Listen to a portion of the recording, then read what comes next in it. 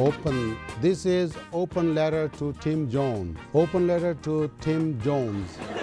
You know, Thymme Jones is a musician, very good friend of mine and musicians.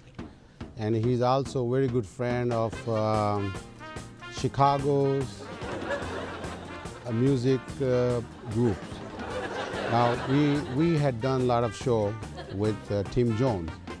When Thymme Jones had long beard and long hair, and uh, we had one show with him. Uh, okay.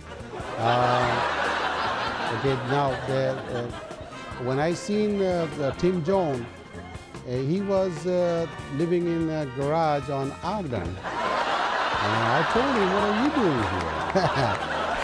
and you know, it, it's so funny, you know, when, when people play the basketball outside of his garage and they knock, knock down his, his, uh, his, his wall or knock, knock tapes, tapes out of his wall. When they play basketball, they knock his tapes uh, off the wall, out of the wall.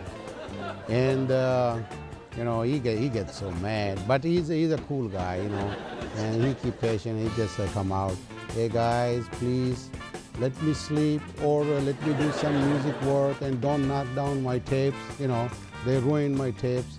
You guys are ruining my tapes and then I cannot do anything about it.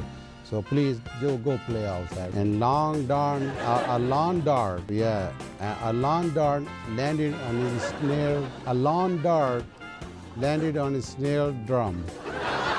Know, so it was so funny.